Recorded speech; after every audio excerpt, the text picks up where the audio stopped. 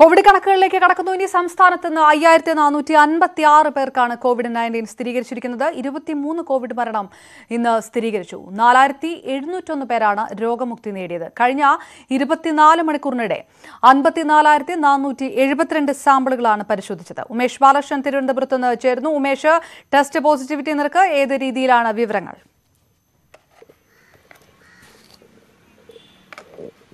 Test positivity നിരക്ക് വീണ്ടും പത്തിന് മുകളിൽ എത്തിയിരിക്കുന്നു എന്നുള്ളതാണ് ഇന്നത്തെ കണക്കിന്റെ ഏറ്റവും പ്രധാന ഭാഗം. കഴിഞ്ഞ ദിവസങ്ങളിലെല്ലാം ഒൻപതിനോ അല്ലെങ്കിൽ എട്ടിനും ഇടയിലായിരുന്നു ടെസ്റ്റ് പോസിറ്റിവിറ്റി നിരക്ക്. അത് വീണ്ടും പത്തിന് മുകളിൽ എത്തിയിരിക്കുന്നു.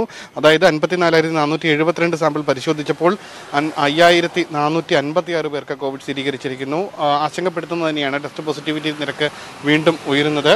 എന്തായാലും ജില്ലാ അടിസ്ഥാനത്തിൽ പരിശോധിക്കുകയാണെങ്കിൽ ഏറ്റവും കൂടുതൽ രോഗികൾ കോഴിക്കോട് ജില്ലയിലാണ്. കോഴിക്കോട് ജില്ലയിൽ അറുന്നൂറ്റി എഴുപത്തിനാല് പേർക്ക് കോവിഡ് സ്ഥിരീകരിച്ചു. തൃശ്ശൂരിൽ അറുന്നൂറ്റി മുപ്പത് എറണാകുളത്ത് അഞ്ഞൂറ്റി എഴുപത്തിയെട്ടും കോട്ടയത്ത് അഞ്ഞൂറ്റി മുപ്പത്തിയെട്ടും പേർക്കാണ് കോവിഡ് സ്ഥിരീകരിച്ചത്. മലപ്പുറത്ത് നാനൂറ്റി എൺപത്തിയഞ്ചും കൊല്ലത്ത് നാനൂറ്റി നാൽപ്പത്തിയൊന്നും പത്തനംതിട്ടയിൽ നാനൂറ്റി നാലും പേർക്ക് ഇന്ന് കോവിഡ് സ്ഥിരീകരിച്ചു.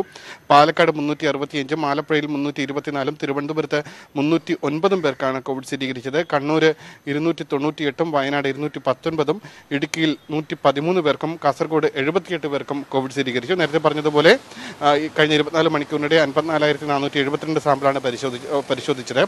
ഇരുപത്തിമൂന്ന് മരണമാണ് കോവിഡ് മൂലമാണെന്ന് സ്ഥിരീകരിച്ചത്. ഇതോടെ സംസ്ഥാനത്തെ ആകെ കോവിഡ് മരണം. അത് രണ്ടായിരത്തി എഴുന്നൂറ്റി അൻപത്തിയേഴായി ഉയർന്നിട്ടുണ്ട്. ഇന്ന് രോഗം സ്ഥിരീകരിച്ചവരിൽ തൊണ്ണൂറ്റി ഒന്ന് പേർ സംസ്ഥാനത്തിന് പുറത്തു നിന്ന് വന്നവരാണ്. നാലായിരത്തി എഴുന്നൂറ്റി ഇരുപത്തിരണ്ട് പേർക്കാണ് സമ്പർക്കത്തിലൂടെ രോഗം സ്ഥിരീകരിച്ചത്. കൂടാതെ അറുന്നൂറ്റി ആറ് പേരുടെ സമ്പർക്ക ഉറവിടം വ്യക്തമല്ല എന്ന കണക്കുമുണ്ട്. ഇന്ന് മുപ്പത്തിയേഴ് ആരോഗ്യപ്രവർത്തകർക്കും കോവിഡ് ബാധിച്ചിട്ടുണ്ട്. കണ്ണൂർ ജില്ലയിലാണ് ആരോഗ്യപ്രവർത്തകർ ഏറ്റവും കൂടുതൽ കോവിഡ് ബാധിതരായത്. പതിമൂന്ന് പേർക്കാണ് കണ്ണൂർ ജില്ലയിൽ പതിമൂന്ന് ആരോഗ്യ പ്രവർത്തകർക്കാണ് കോവിഡ് സ്ഥിരീകരിച്ചത്. നാലായിരത്തി എഴുന്നൂറ്റി ഒന്ന് പേരാണ് ഇന്ന് കോവിഡ് മുക്തരായിരിക്കുന്നത്.